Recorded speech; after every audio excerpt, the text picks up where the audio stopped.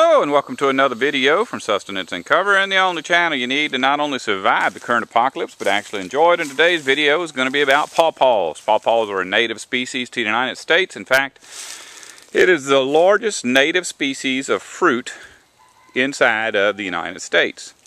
And uh, here's what they look like. Of course, they got a ways to go before they're mature.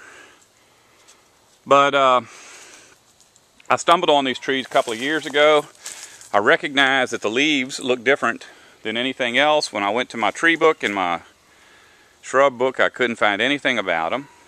And so I decided, you know, I love diversity. So I saved two or three of them and uh, cut all the rest of them down. They didn't have fruit at the time. Well, last year, one of these fruits appeared and then suddenly I got a little curious because it was a kind of big fruit. I never got to taste it because the squirrels got it. But in my research, the only thing I could find that would grow something like this was a tupelo. So I told everybody I had a tupelo tree.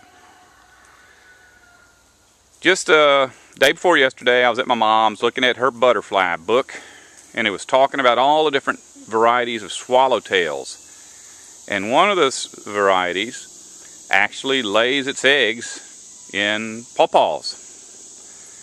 And so in the picture, I said, I've seen that plant before. And sure enough, I ran back over here with the book, compared it, went online. This is a pawpaw tree. And what's interesting is there were about 40 of these here, and I run over them all with my machine, my loppers. And uh, I felt really sick about it, but I walked around and I found this one over here. So I got my lawnmower and cut all around it. Make sure it was where I could easily see it, put a flag by it started looking around a little more. I found these, and I found that, and before it was over with, I actually found 40 of these things, and two of them have fruit. So we're going to work diligently to clear away all of the debris and, and uh, weeds and vines and such from these pawpaws so that we can have us a pawpaw patch. Now, the reason I never found these in the book is because these are listed as not living here. The closest these come to where I live is 500 miles away. So sometimes the book can be wrong. So don't limit yourself just to looking at pictures of plants that grow in your area because you could be surprised. You may find something that is supposed to not grow in your area. Now, prior to this, I had actually purchased some pawpaw trees and planted them in my lawn. Just so you know, pawpaw trees will not grow in a lawn. They require shade. They don't like shade better than sun. They absolutely require shade. Now, as time goes on and they start to produce fruit, you need to get them a little light. And a little more light, a little more light, that's usually the way trees work. When they're fully mature, you can give them a little bit of full sunshine part of the day. But these are an understory tree of North America.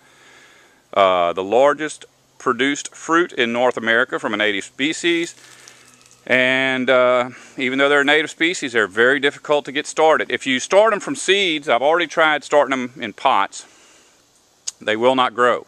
I suspect that they have to pass through somebody's digestive system so that the acid can take that outer wall off of the seeds.